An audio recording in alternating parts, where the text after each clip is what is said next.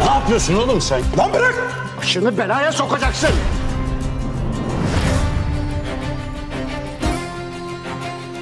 Umut, bir şey mi hatırladın?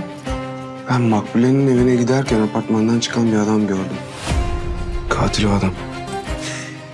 Umut sen inanılmazsın biliyorsun değil mi?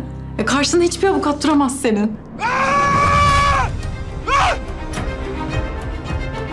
Eğer Umut'u kendi ellerinle bana vermezsen...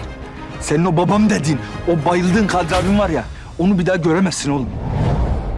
Aha çevirme, vallahi çevirme. Sakin, sakin. Bittik, vallahi nasıl sakin, bittik.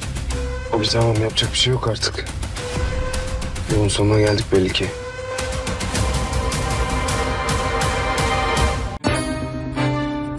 Artık sıra gerçek suçluların hak ettikleri cezayı almalarındadır. Ne sanıyorsun? Kazanacağını mı sanıyorsun? Ben kaybedeceğim davaya girmem. Biraz fazla hırslı kendisi. Gözünü karartmış yani. Ben de en ağır cezayı Kadri abine verdirirken acımayacağım. Bak sana söylüyorum yapay zeka. Ben istemediğim sürece hiçbir zaman hiçbir davada beni yenemezsin. Göreceğiz. Ben nasıl seveceğimi en iyi buradan bilirim. Sen gerçekten kimseyi sevemezsin. Hiçbir kadın da gerçekten seni sevemez. Anlatabildim mi?